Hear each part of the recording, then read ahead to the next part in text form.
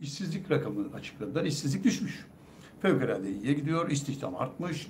800 bin kişilik e, bir kadro oluşmuş. E, rakam neredeyse tek haneliğe geliyor falan. Şimdi doğru mu bunlar? Ya doğru olması bakın mümkün değil. Niye biliyor musunuz? Hep hepiniz görüyorsunuz. Yani en azından kendi etrafınızda. Son üç aydır işe girmeyen, yani işsiz olup da son üç ayda işe giren kimse var mı? Benim tanıdığım kimse yok. Ben bile bir takım tanıdıklarımı hani bir yerde e, hani hatır, gönül, ya şu arkadaşa ne olur bir iş falan olmuyor. Yani hiçbir yerde yok. Ne medya sektöründe var ne diğer sektörlerde. Ha, bazı yerlerde yoğun bir iş gücü e, çalışıyor ama onlar da maalesef biliyorsunuz ya bu Suriyelileri ya Afganları ya da işte diğer gelenleri seçiyorlar. Zaten azgın kapitalizmi böyle uygulayıp işte ihracat patlaması yaptık diye bunu anlatıyorlar. Evet ihracatta patlama var mı? Var. Bakın onu söyleyeyim çok ciddi şey var. Neden? Çünkü pandemi nedeniyle Çin e, faktörü biraz uzaklaşınca ve oradaki işlerde aksamalar olunca ister istemez bu tarafa dönüldü ve e, otomotiv sanayinde, makine sanayinde, e, kimya sanayinde ve tekstilde Türkiye'de çok ciddi bir e, üretim oluyor. Fakat işte buralarda çalıştırılan insanlar hani çok nitelik gerektirmeyen e, işlerde çalışanların çoğu Suriyeliler, Afganlar olunca ne oluyor? Benim vatandaşım işsiz kalıyor. Öbür öbürleri çok mutlu. Neden? Çünkü e, aldıkları parayla geçinebiliyorlar. Çünkü zaten süfli bir hayat sürüyorlar doğal olarak. Hakaret için söylemiyorum. Yani hem geldikleri yer zaten bugünkü yani Türkiye'deki en kötü şartlardan çok daha kötü yerlerden geldikleri için e, bir sıkıntı çekmiyorlar. Aldıkları para onlara yetiyor. Tabii işveren açısından bakınca onlar da çok mutlu. Neden?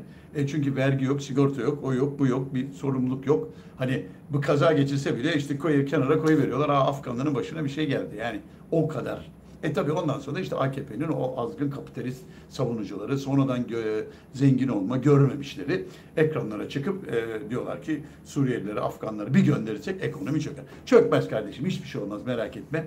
Dünyada çalışanın hakkını verip de geri kalmış bir ülke yok.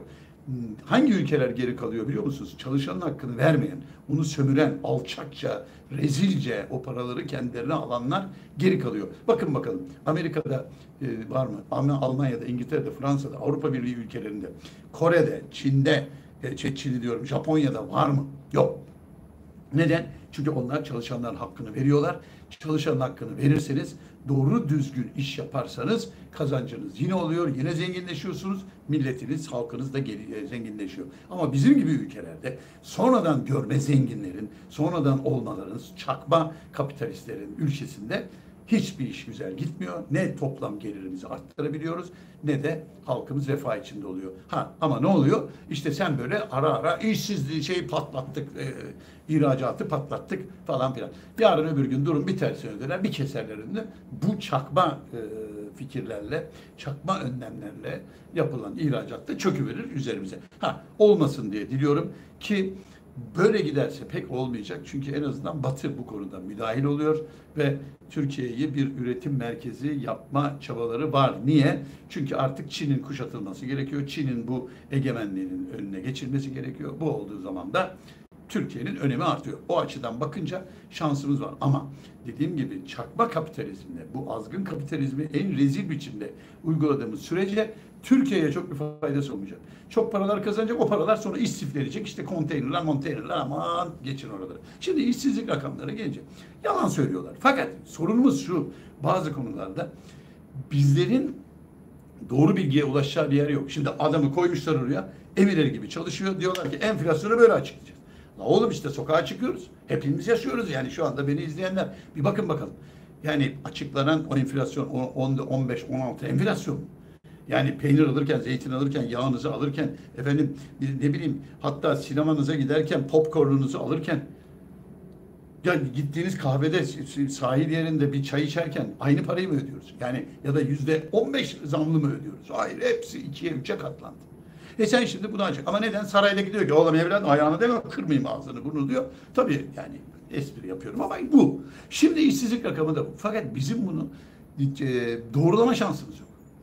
Ama görüyoruz. Şimdi bazı şeyler vardır. Doğrulama şansınız yoktur. Susarsınız. Ama ulan ortada görüyoruz.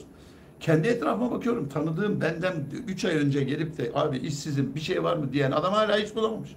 Peki nereden oldu bu yükseldi? Bütün üniversite mezunu çocuklar işsiz geziyorlar.